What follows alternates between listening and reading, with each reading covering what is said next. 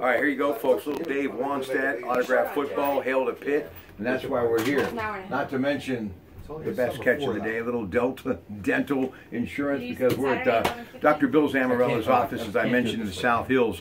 So it's time to talk a little Pitt Panther football. Of course, the Panthers spring game coming up this weekend. I know he'll be there. Pitt Dental School, they'll all be there cheering on the Panthers to see what they look like as far as the spring.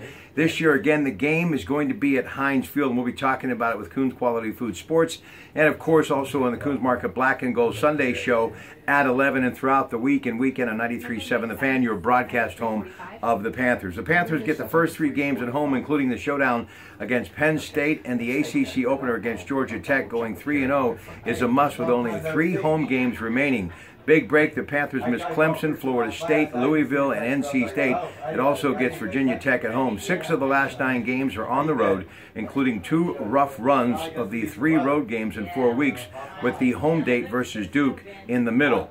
They go to UCF and Notre Dame and close at Miami. So here's the schedule. The 29th of September, UCF, October 6th, Syracuse, October the 13th, at Notre Dame, October the 20th. It's an open date to 27th, Duke, November 2nd, at Virginia, November 10th, Virginia Tech, November 17th at Wake Forest, November 24th at Miami, and December 1st ACC championship game. Keeping our fingers crossed. By the way, a pair of eight and five, and then five and seven, and a Miss Bowl appearance for the first time since 07.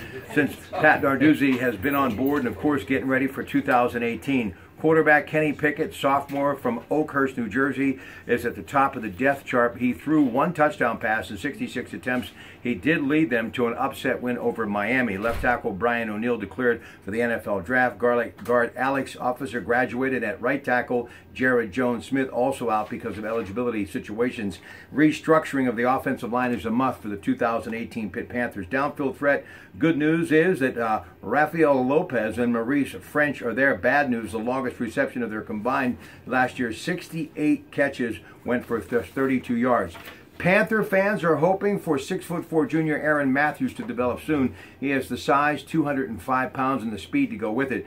Defensive secondary, Pitt has finished 127th and 106 in pass defense the last two years. Avonte Maddox and Jordan Whitehead are both gone. Showtime for Dane Jackson and Damar Hamlin. Hopefully they can step up. Now here's something else you got to look at. New defensive coaches, Josh Conklin is gone, and new coaches, uh, new coach at FCS. Randy Bates, who spent the last 12 seasons as a linebacker coach, we've been talking a lot about him at Northwestern is your new defensive coordinator. Charlie Partridge will be in his second year as defensive line coach. Also new coaches in the secondary, Archie Collins and Corey Sanders. Linebacker coach Bob Harley does return for his fourth season as linebacker coach. There you have it. Lots more, of course, as we get ready for the spring game. And remember to tune into the Kuhn's Market Black and Gold Sunday show at 11. And now from Dr. Bill Zamarella's office, open wide. Time to let them do what they do best. Have a great day, everybody, from your Pack. Enjoy the sunshine. Good afternoon.